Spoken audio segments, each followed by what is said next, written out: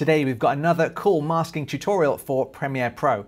So you can take a shot like this and just using the masking tool, you can make it into a cool effect just like this. So let's get into it. Hey there, welcome to the video. I'm Mark Brown from Editor's Keys, and if you're new here, consider subscribing if you're into video editing or Adobe Premiere Pro. Now, in this video, we're gonna show you a really cool masking tutorial that allows you to replace the screen of a TV. And this is really good if you're doing maybe a music video, a promotional video, or if you just wanna use it for your YouTube content. It's quite easy to do as well, so let's jump into Premiere and I'll show you how it works. So the first thing to do is make sure that the shot of the TV was shot on a tripod because it really is much easier to work with. If the shot of the TV is moving in any way or it's a handheld shot, it's going to be super hard and a lot longer to do. Making it static will save you a ton of time and it's definitely the best place to start if you're learning these techniques for the first time. So get your shot of the TV and the first thing you want to do is draw a mask around the screen click on the clip and then go to opacity here and then click the draw icon. Now, because the screen is quite curved, hold down the mouse to make sure you can curve the points. Now do this until you've done the whole screen.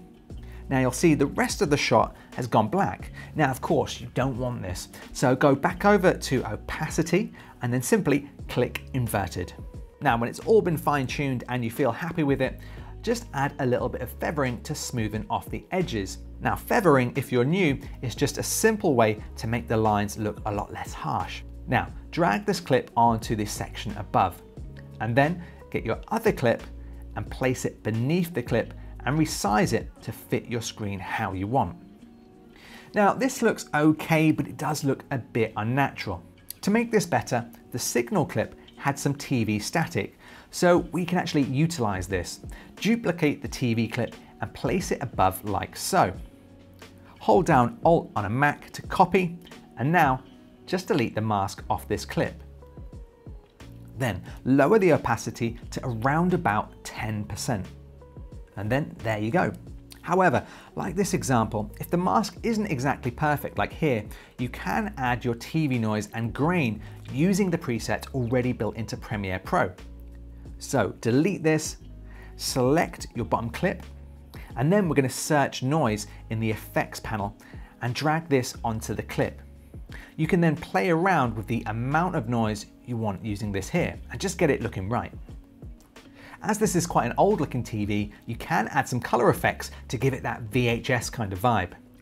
Go into your effects panel again and search for an effect called arithmetic, and then drag this onto your clip. Scroll down to your options and then play around with these three colors. Add some green and red and just play around with it. And there you go, you've now got a realistic looking TV replacement.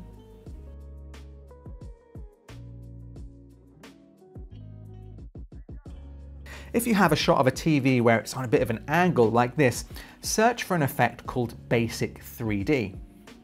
Drag it onto your clip and then play around with these options here to fit the angle of the TV. Obviously, you're gonna have to do some real fine tuning to get it absolutely perfect. So just make sure you take your time with it.